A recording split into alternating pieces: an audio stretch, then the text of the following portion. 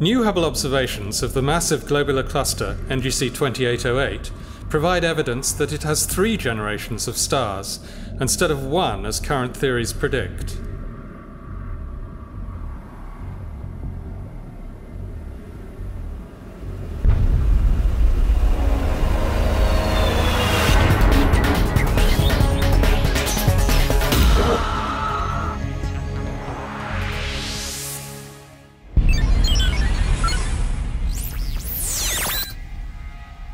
This is the Hubblecast, news and images from the NASA ESA Hubble Space Telescope. Travelling through time and space with our host, Dr. J, aka Dr. Joe Liske. Welcome to the Hubblecast. Globular clusters are the homesteaders of our Milky Way galaxy because they were born during our galaxy's formation.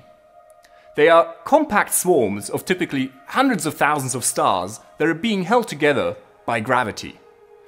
Now astronomers have long thought that globular clusters experience a single baby boom of star formation at the beginning of their lives and then settle into a rather quiet existence.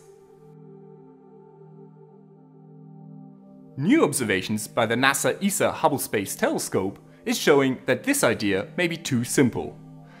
The Hubble analysis of the massive globular cluster NGC 2808 is providing evidence that instead of having one baby boom of star formation, starbirth went boom, boom, boom, creating three generations of stars early on in the cluster's life. We were really shocked by the results. I mean, when we saw for the first time the CMD, we said, wow! Uh, because, I mean, we were not expecting anything like that.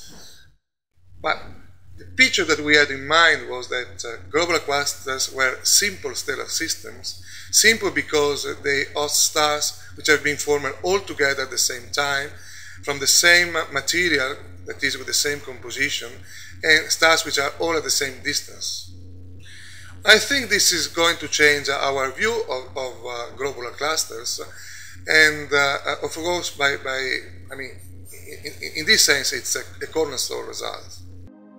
The astronomers used Hubble's advanced camera for surveys to measure the brightness seen along this axis, and the colour of the cluster stars, seen here, with blue to the left and red to the right. The measurements showed three distinct populations, with each successive generation appearing slightly bluer.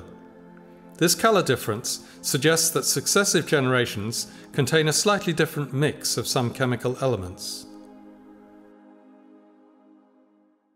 We don't really know how it happened, but it may well be that the cluster for my first generation that can expel a lot of material that only later fall down forming a second generation of stars with completely different chemical properties.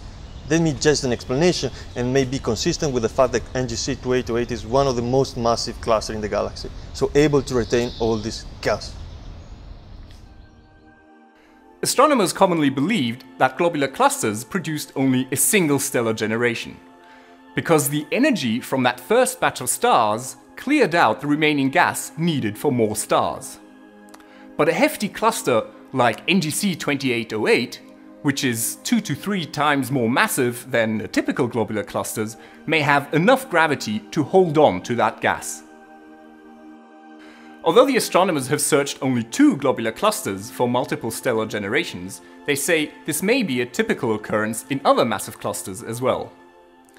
Now, no one is taking the radical step of suggesting that previous work on other clusters is no longer valid.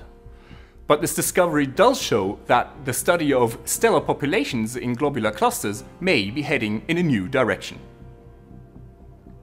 The team plans to use ESO's Very Large Telescope in Chile to study the chemical composition of NGC 2808. This may offer further evidence that the stars were formed at different times, and it may yield clues as to how they formed. The team will also use Hubble to hunt for multiple generations in about 10 more hefty globular clusters.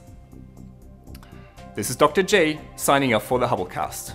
Once again, you've guessed it, nature surprised us beyond our wildest imagination.